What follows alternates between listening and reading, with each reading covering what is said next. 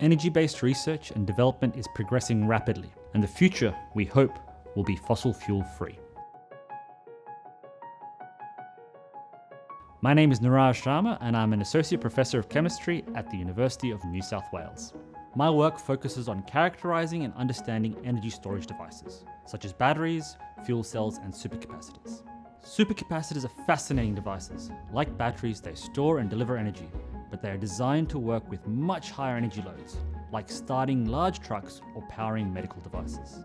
Think of a battery as a marathon runner, slow and steady and good at releasing a constant amount of energy over time, while a supercapacitor is much more like a high intensity sprinter, good at producing very high levels of energy, but over a much shorter period of time.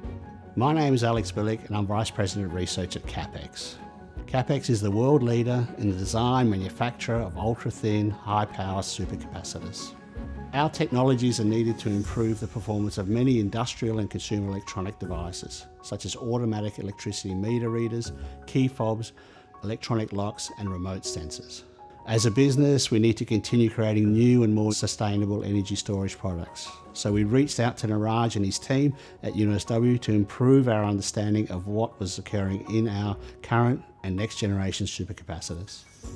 Using the state-of-the-art equipment and expertise we have available here at UNSW, my team was able to run experiments around CAP-XX's devices. Like a medical x-ray, we were able to use a technique called micro-CT to view inside the supercapacitor and spot any inefficiencies in the materials and structure. This feedback allowed CAP-XX to improve their supercapacitors so they could run at a much higher level of performance.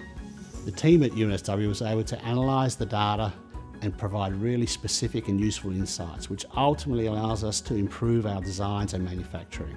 The results provide a breakthrough in our thinking, which is now guiding our product development.